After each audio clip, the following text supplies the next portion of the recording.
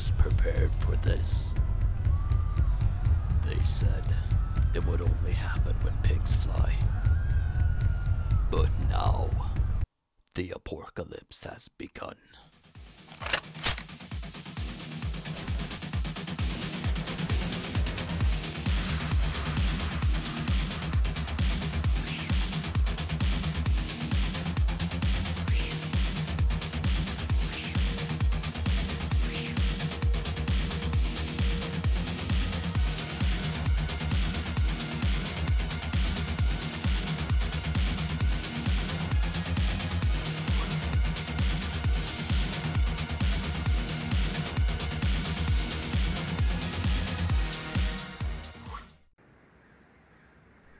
I love the smell of bacon in the morning.